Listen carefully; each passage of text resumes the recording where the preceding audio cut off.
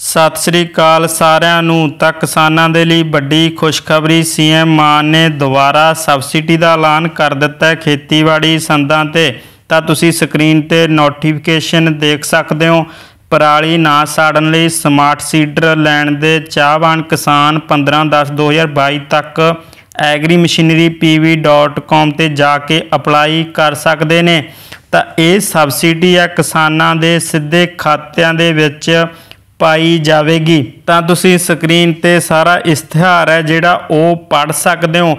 ਪਹਿਲਾਂ ਵੀ ਸਬਸਿਡੀ ਦਾ ਐਲਾਨ ਹੋਇਆ ਸੀ, ਪਰ ਉਸ ਵਿੱਚ ਸਿਰਫ ਸਿੰਗਲ ਸੀ, ਗਰੁੱਪ ਬੰਦ ਕਰ ਦਿੱਤੇ ਸੀ, ਪਰ ਹੁਣ ਦੁਬਾਰਾ ਸਬਸਿਡੀ ਆ ਚੁੱਕੀ ਹੈ। ਸਿਰਫ ਸਮਾਰਟ ਜਿਹੜੇ ਸੀਡਰ ਨੇ, ਤਾਂ ਉਹਨਾਂ ਤੇ ਸਬਸਿਡੀ ਆਈ ਹੈ। ਜ਼ਿਆਦਾ ਜਾਣਕਾਰੀ ਲਈ ਤੁਸੀਂ ਇਹਨਾਂ ਨੰਬਰਾਂ ਤੇ ਸੰਪਰਕ ਕਰ ਸਕਦੇ ਹੋ। ਤੁਹਾਡੇ ਜ਼ਿਲ੍ਹੇ ਦੇ ਨੰਬਰ ਦਿੱਤੇ ਹੋਏ ਨੇ।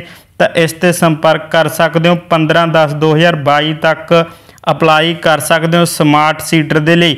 ਇੱਕ ਹੁੰਦਾ ਸੁਪਰ ਸੀਡਰ ਇਹ ਥੋੜਾ ਜਿਹਾ ਐਡਵਾਂਸ ਆਇਆ ਉਸ ਨਾਲੋਂ ਤਾਂ ਇਹ ਹੈ ਸਮਾਰਟ ਸੀਡਰ 15/10/2022 ਤੱਕ ਐਗਰੀ ਮਸ਼ੀਨਰੀ pv.com ਤੇ ਜਾ ਕੇ ਅਪਲਾਈ ਕਰ ਸਕਦੇ ਹੋ। ਇਹ ਸਬਸਿਡੀ ਕਿਸਾਨਾਂ ਦੇ ਸਿੱਧੇ ਖਾਤਿਆਂ ਦੇ ਵਿੱਚ ਟ੍ਰਾਂਸਫਰ ਕੀਤੀ ਜਾਵੇਗੀ ਤਾਂ ਕਿਸਾਨਾਂ ਦੇ ਲਈ ਵੱਡੀ ਖੁਸ਼ਖਬਰੀ ਹੈ। ਸੀਐਮ ਮਾਨ ਨੇ ਦੁਬਾਰਾ ਸਬਸਿਡੀ ਦਾ ਐਲਾਨ ਕਰ ਦਿੱਤਾ ਹੈ। ਫਿਲਹਾਲ ਇੰਨਾ ਹੀ। ਧੰਨਵਾਦ।